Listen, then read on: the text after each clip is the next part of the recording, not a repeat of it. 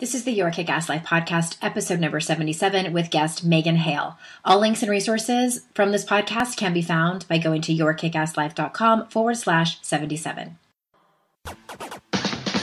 This is the Your Kick Ass Life podcast with Andrea Owen, a no BS guide to self help and badassery.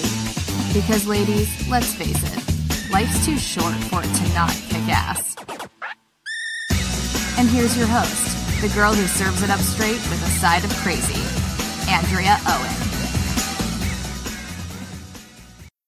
Hey there, ass kickers. As always, I'm very excited about today's guest. I was a guest on Megan Hale's podcast and we had such an amazing conversation. I was like, I can't, I can't stop talking to you. So I brought her on my podcast to talk about something that is so very, very, very important. And we're going to get to that in just a minute. Let me tell you a little bit about Megan. Megan Hale is a retired psychotherapist, enoughness coach, and women's leadership mentor. She works with her clients to break free from the self defeating beliefs of never enough, to live true, live brave, and live whole. She's an advocate for courageous, authentic living and believes the future belongs to women who are free and empowered to make their own rules and know the value of inner work that translates to outer results. And before we get started, I just wanted to let y'all know well, I mean, you already know that the holidays are upon us, and uh, my book is still on sale. YourKickAssLife.com forward slash 52 ways, the numbers 52. And for a personalized signed copy, you need to get it from that page. My book is available on Amazon and pretty much anywhere books are sold in bookstores. And if you want a personalized signed copy, you can get one on sale 15 bucks. That includes shipping to US only. If you want this for Christmas, which is in like nine days, you would probably have to order it within the next couple of days um, to make sure that it gets there in time. Or, you know, New Year's gift and beyond. it's all good. So just a, an extra heads up for that. YourKickAssLife.com forward slash 52 ways. And without further ado, here is Megan. Hello there, ass kickers. Welcome to episode 77. I am excited, as always, to bring you my guest today. Megan Hale uh, interviewed me a couple of weeks ago, and I could have talked to her all day long, and I was just like, you have to come on my podcast like today. so I'm so glad to have you. Hey. Yay. I'm excited to be here. Awesome. And as all of my people know, these are very casual conversations and today is, is no exception. We're going to talk about something that can not be casual, but is so important. And that is the whole concept of worthiness. And let's just jump right in because I love that you call yourself an enoughness coach. Mm-hmm. And so, can mm-hmm. you describe for us who are the women that you help and like who would need an enoughness coach?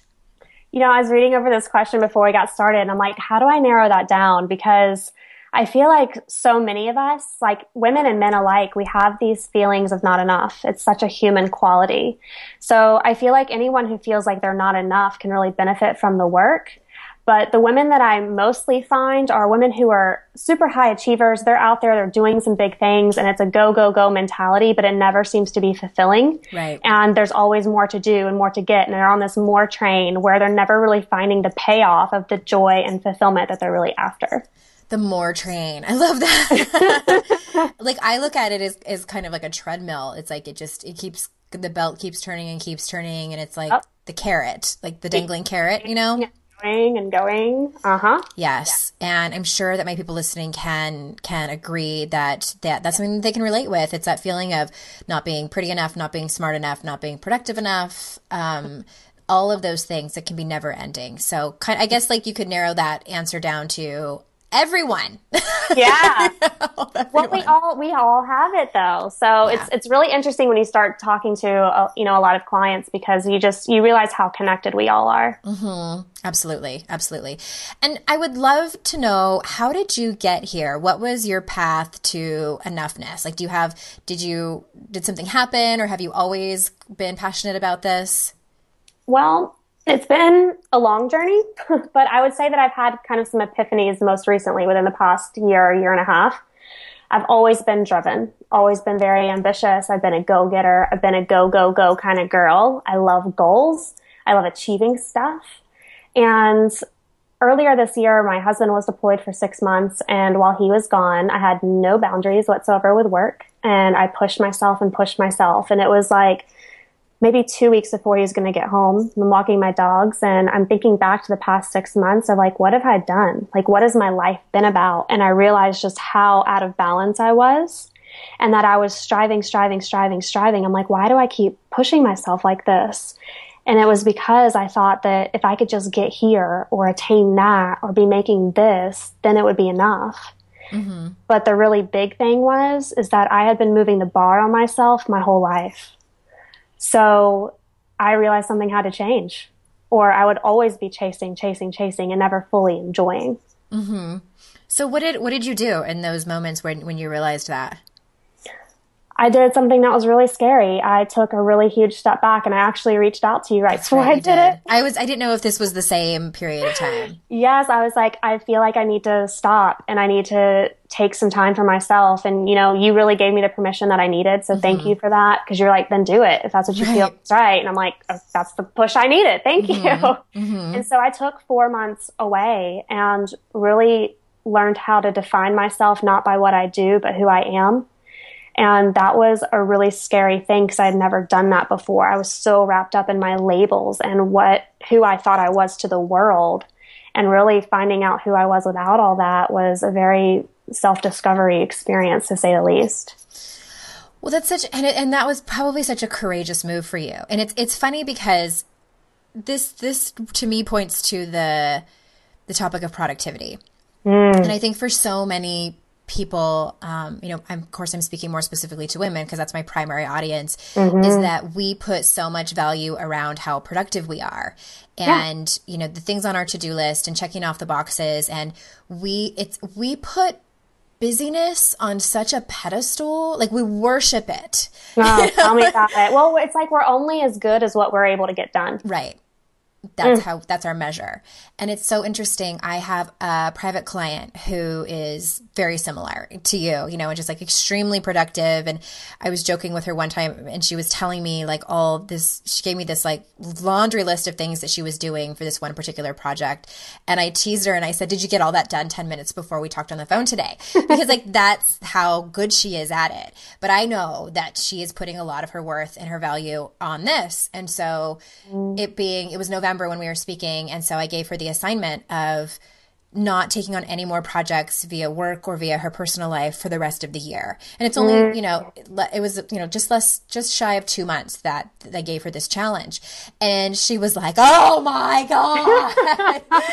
and I was like, good. Like that's the reaction that I wanted to evoke in you. And it's, and it's not that I want her to even, rest and recharge like that's that's a bonus. That's great. But like i wanted her to be in that uncomfortableness and like that yeah. gray area because for us for it's like i know what's going on in a lot of people's minds. And I, I assume this was the case for you too megan where it was like if i don't t- take any projects on for four months or two months then i am a slacker then i'm wasting time then i you know it's like we, we make it mean something Oh, the guilt trip totally sets in. I mean, and I had a lot of resistance to this. I mean, a lot. And it, I, I thank God for the coach that I was working with at the time that was like you you can do this and you have to do it do you see how much resistance and fear like fear is guiding your life right now mm-hmm. and that was the thing that i didn't even realize that i was working from such a fear based space of don't miss out don't get left behind hurry up and get there achieve achieve achieve or else you're going to be a failure right. there was all of these fears that were really just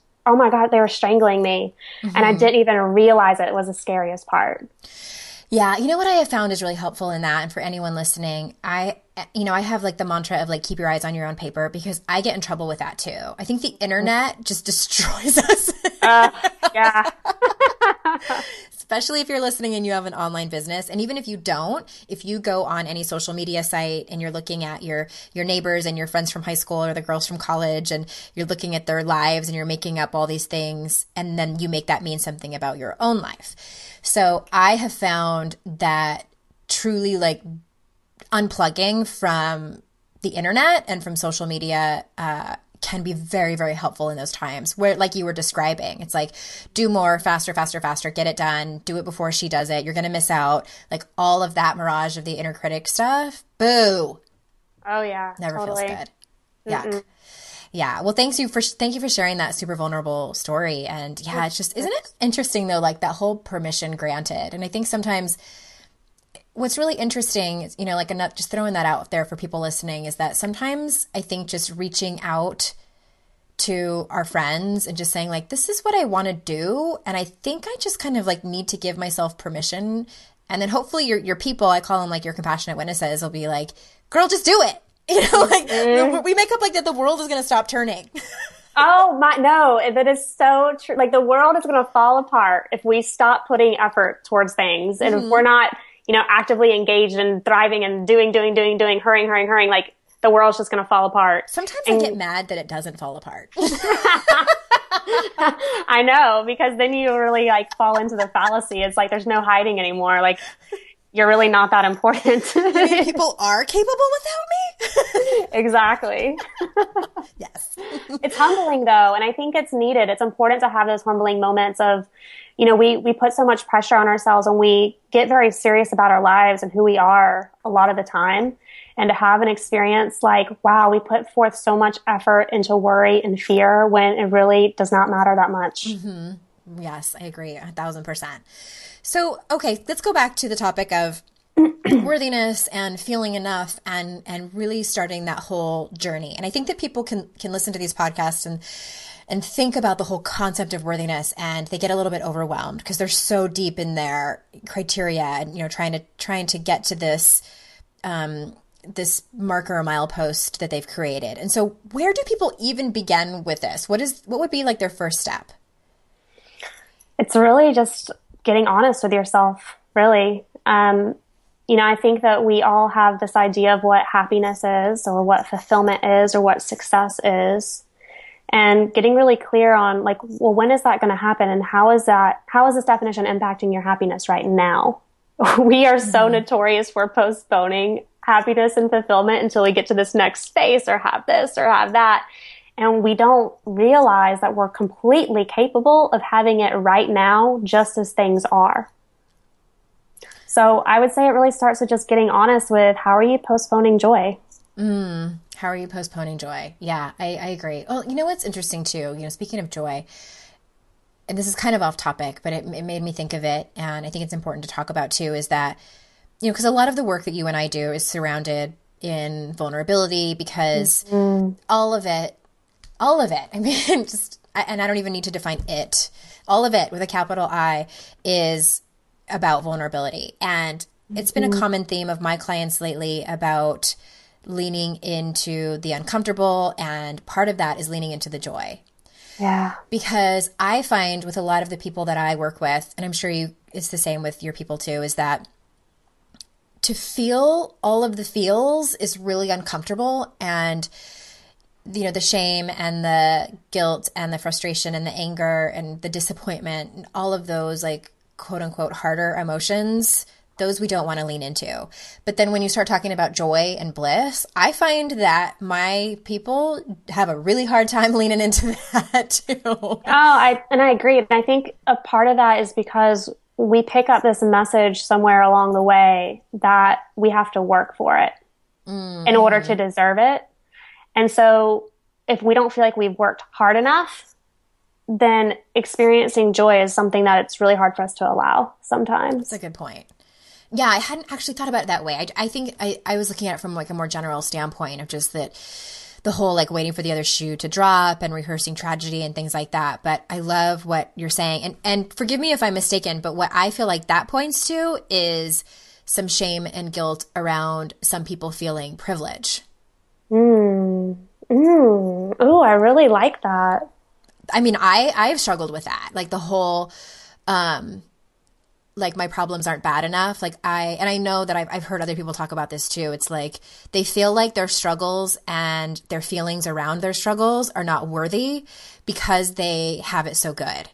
Hmm. Oh yeah, absolutely. And I think that uh, there's a whole nother. I just opened up a can of worms with that. I know. I, I, think it's something that we need to talk about because I, I think sometimes when we feel sad Mm-hmm. Um, we feel shameful for feeling sad because we're supposed to be happy. Mm-hmm. And our, our culture does a really good job of saying, you're supposed to be happy, you're supposed to be this. And so when we're not that, not only do we not feel that, but we beat ourselves up because we're not that. So there's this extra level of like self shaming that's that goes on. Yes.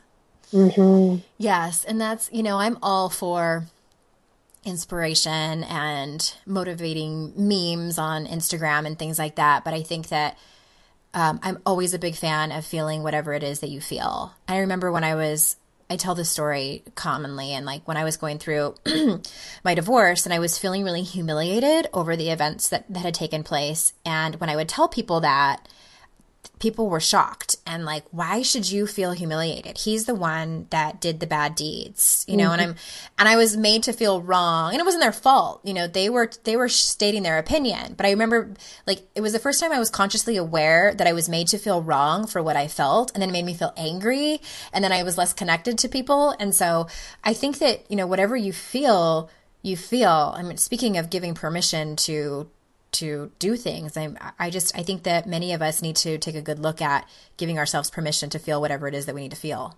And you know that's the that's probably one of the biggest pieces of the enoughness work that I do is really getting into the messiness of our emotional life and allowing all of it to be okay because we are notorious for abandoning the pieces of ourselves that are we we deem not okay that mm-hmm. they're they're not enough or they shouldn't be feeling this way or they're not supposed to be like this or whatever it is that we're creating in our minds. And so we just try and put this piece of ourselves aside and we're like just you know you fix that fix it yourself. I don't have to deal with it. Right. And so there's this pattern of self-abandonment that goes on and if we don't give ourselves permission to embrace it all. Yeah. And i feel like too it i mean something could have happened in like 1990 and we abandoned it back then. And like I, I have been saying lately like we can't bury our feelings alive and expect them to die. And like lord knows i have tried. Like mm, i've buried those too. suckers 100 feet deep and they don't die. And i think that a lot of times too what happens when you start to do this work it, it happened for me. Like when i went to san antonio for my training in 2014 um, and did this work what came out two decades later was um, and i just released this on my my podcast um, if you guys missed it it was episode 72 i believe. Um, i was date raped when i was 19 and for 20 years i completely blamed myself. I made up that it just wasn't that big of a deal. It was it was my fault. I shouldn't have been there. I shouldn't have been drinking. Blah blah blah. The same story that you a lot of people can probably relate to.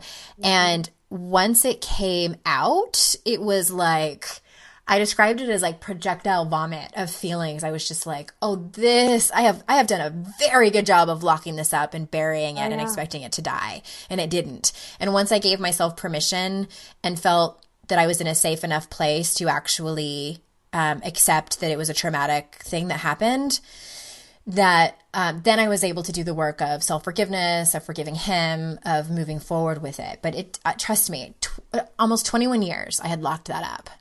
Well, you know, the thing is, and, and this is probably the biggest mistake I've made in my life, is falling into the fallacy that time's going to heal all wounds. And mm-hmm. that's, that's not what happens. Like, you know, your 19 year old self, she needs your wisdom and your compassion to go back and give her the love that she needed back mm-hmm. then. And she can't do that without you. So she, she doesn't know how to do it without you. And it's only by your life experiences that you've gained since you were 19 that you now have that awareness to go back and really help her and be with her and say, it's okay for you to feel this way. And I'm here with you now. You're not doing it alone. And together we can heal this. Yeah. And that's like the beautiful healing journey that allows us to be enough because we're embracing all of these pieces of ourselves that we have tried to lock away. Mm-hmm. And that's, and that's what gives us our authenticity when we can bring our whole selves to the table. We're embracing it all. There's not pieces of ourselves that we're trying to deny. Right. I think you just brought up a really good point too about authenticity. I think that I think that like being the whole like quote unquote being yourself is only part of the equation. Mm-hmm. I think that you just nailed it. It's the whole concept of embracing all the parts of ourselves. And it, it really, and, and Brene teaches us this about abandoning parts of our stories and orph- she says like orphaning parts of your stories is mm-hmm. is really um, a fearful act it's acting out of fear and like to be truly courageous is to embrace all of the parts of our stories and, and the example i just gave you is one of those and then also for me i had to also sort of like a for lack of a better word, like apologize to my former self. Absolutely. For, um, because what happened is when I started to come into, you know, when I was really deep into my personal development journey, or probably around like three years in, I started to feel really ashamed of how I had behaved and, you know, still kind of blaming myself. And it's like, well, I can kind of forgive myself, but I still should not have been acting that way. And oh my God, mm-hmm. I can't mm-hmm. believe how codependent I was. And, mm-hmm. you know, all mm-hmm. of these things. And so it took a lot of reflection and just a, a lot of more so like self compassion of like, I was not well back then. And I'm sorry that I have been thinking of you this way and treating, cause I, I looked at it as like, I would never, like, if you, Megan, were telling me about your 19 year old self and being drunk at a party and, you know, flirting with a boy and ended up, I wouldn't have been like, that was really stupid. Like, you should not, like, I would be horrified if someone was speaking to you that way. Like, let alone I would never. So, like, why was it okay for me to speak to, about my 19 year old self that way? I know. So, I, there was a, there was a huge element of that as well. Well, you know, you're really talking about forgiveness. There has to be this forgiving element of what happened back then. And, you know, a, a, lot of my story in my teens and early 20s, especially, you know, just struggling with substance abuse and all of the reckless things I did during that time that was probably the beginning of my own healing journey is actually going back and healing those times. And what I had to realize is that, you know, that substance abuse is as reckless and dangerous as it was and harming and shaming. It probably saved my life because the emotions that I was experiencing back then, I didn't know how to cope any other way. And if I didn't mm-hmm. have the coping mechanism of drugs and alcohol, as twisted as it might be, I might not be here. Right. So I had to actually go and thank my rebellious self of saying, you know, I don't, I don't like what you did, but I'm glad that you did it because you saved us, and now we can heal from that, and I forgive you. Mm, hmm Yeah, I'm a big believer that we we do have to get lost before we actually find ourselves. So mm-hmm. yeah, if anyone's listening and you and you feel like you're lost, guess guess what? You're in the exact place that you need to be in. Mm-hmm. So I have a, a question for you. So do you believe that the whole concept of feeling enough is simply a decision that we make. It's like a yes or no. Or is it more than that? I would say that it, it's a yes and no answer, and I'll, I'll tell you why. So, in order for us to make another choice, in order for something new to be true, we have to create a space for that new truth to be okay. And we're not going to be able to do that unless we unravel the stories that are preventing it from being true in the first place. So what I mean by that is if we have a really strong belief that we have to be perfect in order to be enough, and you have years of substance abuse where you did a lot of imperfect things, mm-hmm. um, it's going to be really hard for you to say, but I'm still enough in spite of that because you still have that perfectionistic belief. So you really have to go and unravel that story that you're telling yourself in order to make room for this new truth to be okay. Very, very true. Yes. Because uh, it's interesting because I remember when when I was listening to and this is probably back in 2010 when Brene's first TED Talk came out. And uh I, I have watched it so many times. I think it's like around minute eight where she says where she talks about her research and how the difference between the people that knew that they were worthy in love and belonging and the people that still struggled with it. She said the difference was that the people that believed they were worthy of love and belonging simply decided that it was so. Mm-hmm. And I was kind of like, really? Mm. And you know that's why I love so much what she talks about in Rising Strong because she really talks about the stories we tell ourselves mm-hmm. and how how we heal those stories where we can choose that we're enough. Mm-hmm. But I, I don't think that it's just as easy as flipping on a light switch. I really do think you have to get into your story and make room for a new story to to be your truth, and it doesn't happen overnight, right. not by any means.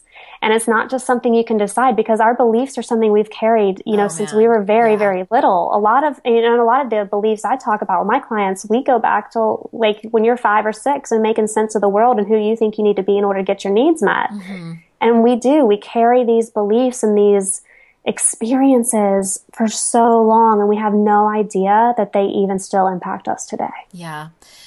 I totally agree with you. It's so interesting. My daughter is six and mm-hmm. she's in kindergarten.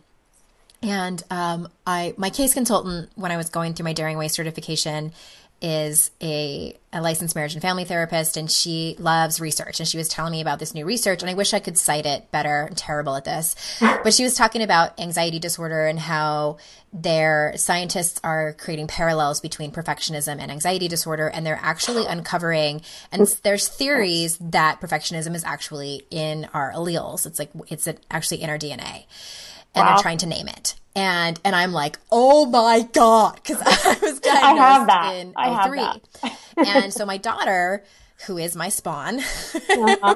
who is my mini me, she got we got her report card yesterday, and under you know like shows her strengths, and of course it's she's just spunky and loves hugging people and smiles all the time, and then under her, you know ways to improve, um, they were saying that she it's a confidence issue. And then when she gets things wrong that the tears come. And mm-hmm. she is afraid to try new things because she doesn't want to get it wrong.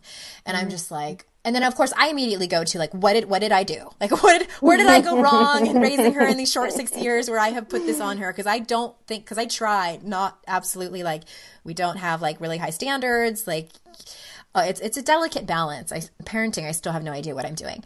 But I'm I, it's very interesting to me the whole concept of of and I think that like I don't know if it's in the water or what, but I think that we are our generation like we somehow I just think it's our world like that we're raising anxious people. Like I'm an anxious person.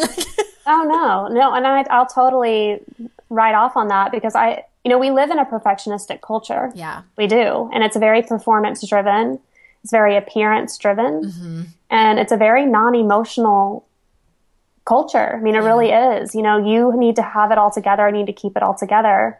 And you need to do everything right and you need to be the best. And, I mean, it's, it's very driven in that way. And so I think that a lot of us are not even aware of how much we absorb mm-hmm. just from the culture around us. Like, not to mention like our upbringing and like, you know, the way our parents have impacted us, us just the culture itself. Like we're fed these messages from such an early age and it comes in all types of forms, you know, like yeah. even cartoons and magazines, like, you know, all those magazines when you're five, you're like, you know, three feet tall. All these magazines of women, they're right there within eyesight. Mm-hmm. And we're just not even aware how that's impacting them or even how it impacted us. Yeah, I mean, we don't even, they haven't even ever had cable. We've never had cable. and I thought maybe that was like the cure all, but apparently it's not. And it's just, I, am definitely raising my children to grow up in a house where your emotions are okay. And yeah. like we have conversations, like we have emotional conversations. They've seen me cry before and we talk about it. And um, it's really interesting to me. I may have told this story on my podcast before, but this was, I don't know, maybe a year ago I had had a really hard conversation with my mom and like I hung up the phone and Jason walked in the door like right at that moment. And I think like I was like, you know, like on the verge of tears. And then when I saw him, I started crying and he was like, what happened?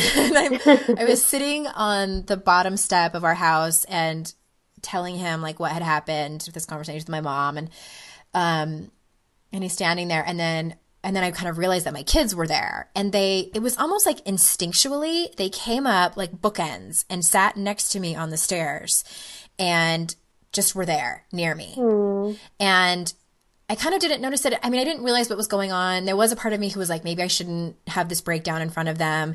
And then, but we talked about it later and, and, you know, my son was like, I was a little bit scared when you were crying. And so we were, we talked about it and, um, but then I was talking to a friend of mine who's a therapist, and she was like, "That's actually really good because you're modeling a few things. You're modeling like what it looks like for their their parents to have a conversation facing each other, where one parent is being emotional and the other one is listening.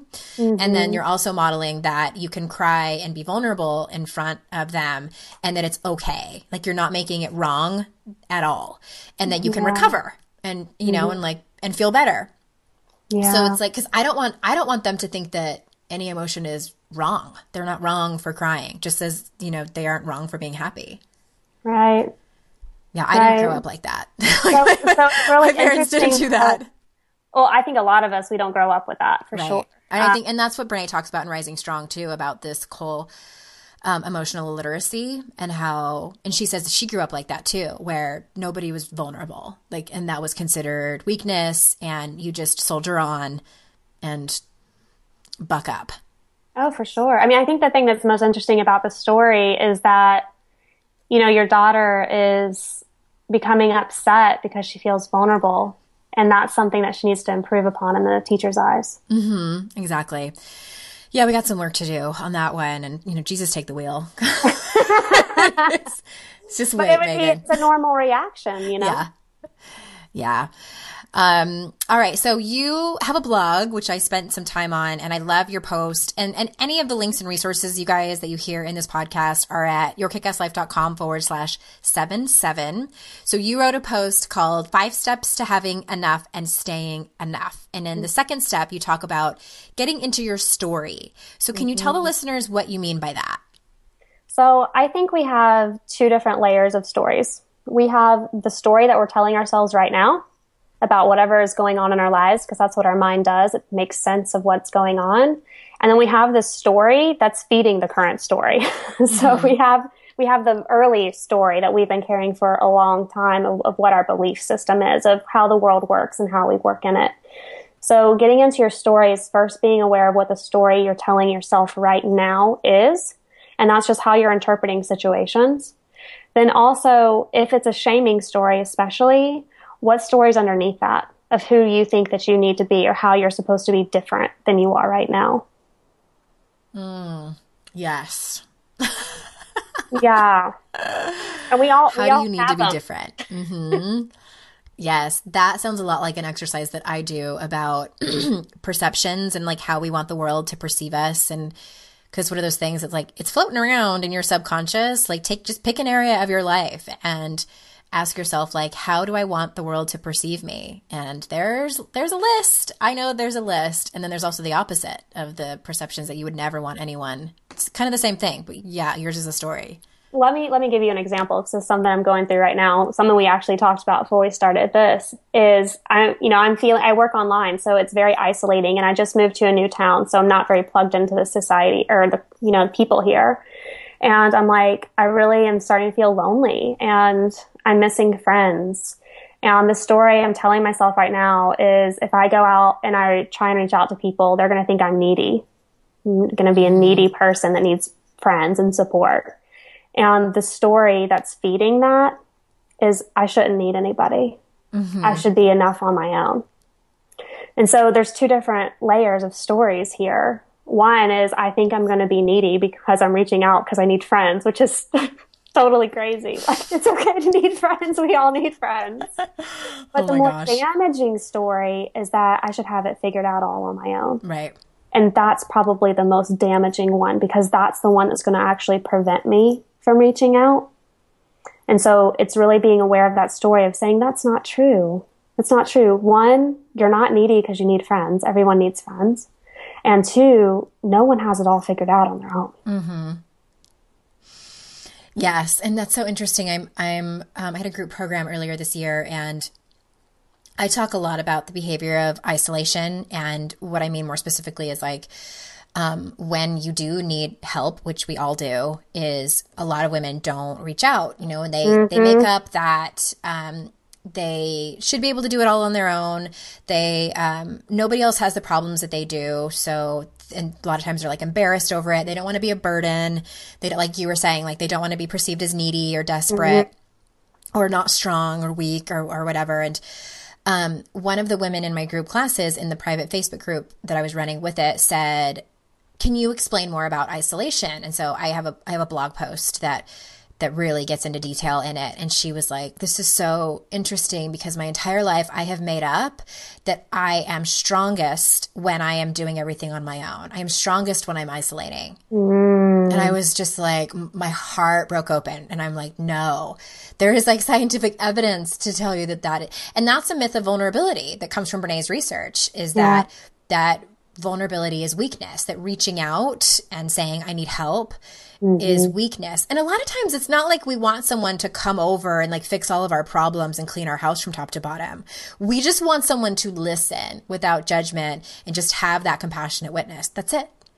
It's about connection. I mean, it really is. Like, that's what I'm needing so much right now. It's like, I just want to go and have a really awesome conversation with another woman human mm-hmm. and because it makes you feel like you're not you're not alone and there's somebody out there you know Yes, because that's why we're here, you guys. Mm-hmm. Absolutely. yes, to reproduce and to connect with other humans. Yes. What surprises you about the work you do with women? Mm. I think that one of the most beautiful things is that when we really get into the enoughness work is that every single woman realizes that there's a little girl that lives inside of her that she hasn't talked to in a really long time and to watch that relationship deepen and watching love and compassion and forgiveness and healing transform that it transforms the way they live and i think it's really interesting stuff that we don't even realize that that little girl's in there and just within the first two days of doing some of this work, it's like the emotional floodgates are just like, holy wow. And I'm like, mm-hmm. Yeah, girl, it's, it's going to be some good stuff in there. And there's going to be a whole lot more interconnection. And that's where you're going to find your truth. And it's, it's really cool stuff. Yeah, it is. It is. Oh my gosh, absolutely. Oh, oh gosh. Well, I think that about wraps it up. And I, I thank you so incredibly much for being here and sharing your wisdom and, and sharing your own vulnerability and talking about your own struggles. And I know that that helps my audience so much to hear that even the people that we have, that I, the experts that I bring on on my podcast with all of their degrees and certifications and experience and, and wisdom, like still fight the good fight every single day. So I appreciate that. Oh, absolutely. It's it's the human piece of us all, and I, really appreciate that you're giving a voice to that. So thank you. You're welcome. And where where's the best way for people to be able to find you and find out more about what you do? You can visit me on my website, which is megan-hale.com. Awesome. Thank you so much for I was getting a drink of water and it was faster than I that was really fast, huh? it was. Megan-hale.com, you guys go over and say hi. And until next time, I will see you all out in cyberspace. Bye bye